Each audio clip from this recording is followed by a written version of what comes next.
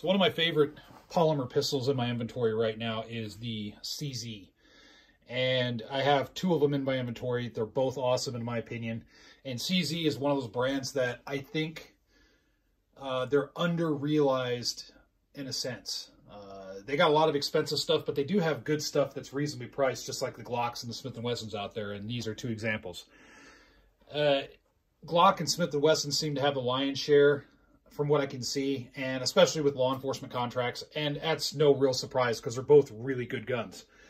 But CZs, uh, for the most part, I think they have really, really solid, capable firearm setups, and I think they surpass Glock and Smith & Wesson in a lot of different ways.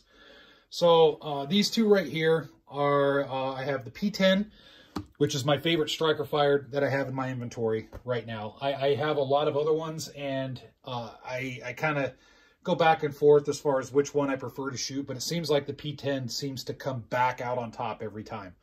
And the P10 is just amazing to shoot. If you haven't shot one, this is the P10F. They also have the P10Cs. I haven't really messed too much with the P10Cs. This is the full size. I like full size handguns for the most part, uh, with a few exceptions like this one right here. But, uh, you know, the full-size P10F is just an awesome shooter. It's extremely flat shooting. It has a much better trigger than the Glock, in my opinion. Uh, everything on it is just really well made. The machine work, all that good stuff. It does have good aftermarket support, so if you want to throw bells and whistles on it. Uh, and for the most part, you're either going to see it for the same price as a Glock or even a little bit cheaper than a Glock.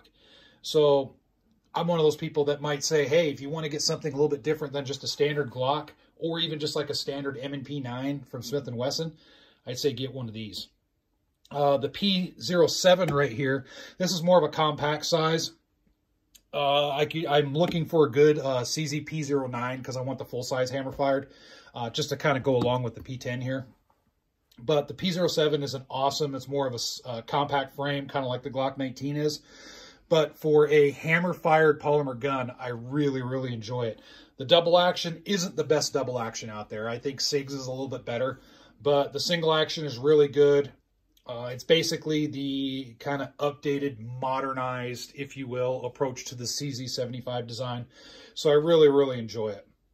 Uh, the biggest thing about these that I really like is not only the fact that they're really reliable and they have good ergonomics in, in my hands, is the detail of the gun. And just as an example, what I'll show here. So here's the P10F, okay? So I didn't really do much to this gun. I just put a little Talon grip on it, threw a light on it so far, and then uh, Strike Industries uh, magazine base plate. But as far as the slide, I haven't updated it at all, but the contours are really good. The slide serration's very well done. And just to show in contrast, this is a Glock 17 that I have, Gen 4 very good. I really, really dig the Glock 17. It's a very well-made gun.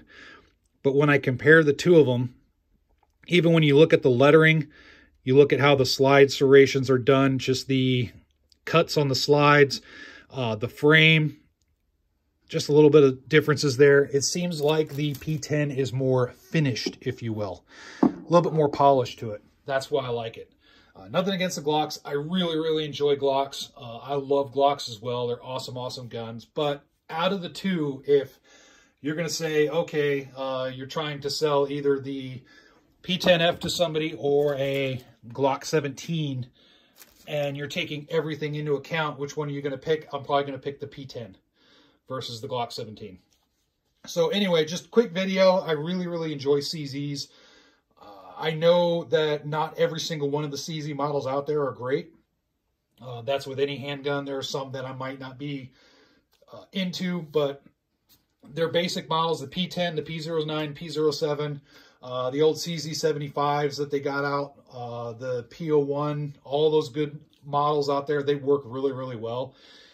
Um, I think maybe if they changed their marketing or something and really did a marketing push, maybe they could get a little bit more of the chunk of the pie when it comes to like the law enforcement market or, or something like that.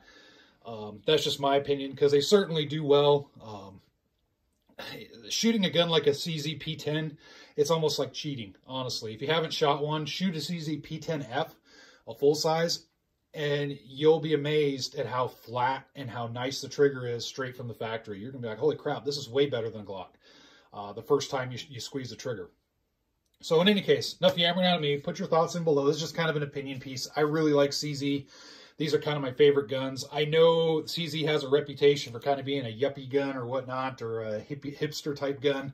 I get it, but I mean, they're really well made. They're really good handguns. So with that said, stay safe out there and look forward to reading the comments.